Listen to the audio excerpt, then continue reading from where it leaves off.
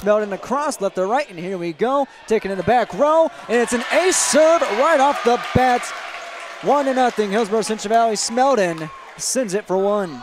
Aaron's dig. Smeldon going to set up for Benson far side. Just gracefully flying through the air and gracefully putting it down. It's 8 to 5. Benson with a little bloop.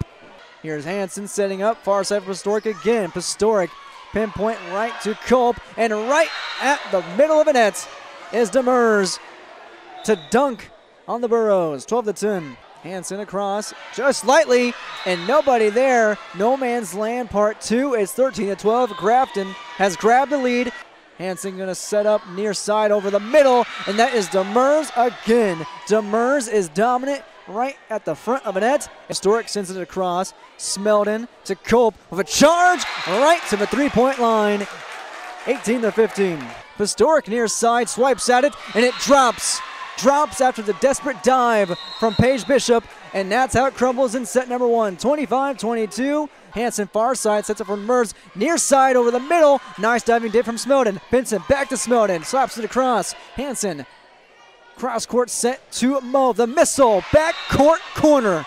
Aaron's digs. Olson sets up. Here's Ackerman. Right back at you is Hanson. Hanson hacks it back in her face, and it's 25 to 17.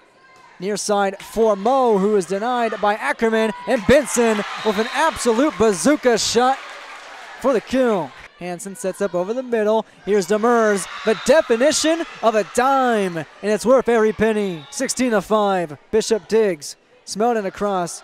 Historic digs. And Culp. Oh, I had to quote you, Leaf, because take a bite of that. Historic digs. Hanson sets up for Mo a missile near side off of Smeldon, saved by Aaron's. Back to Historic. Hansen going to try Erickson, little jumbo over, and it drops pinpoint to the back of the corner and put it in print. Grafton has swept Hillsboro Central Valley.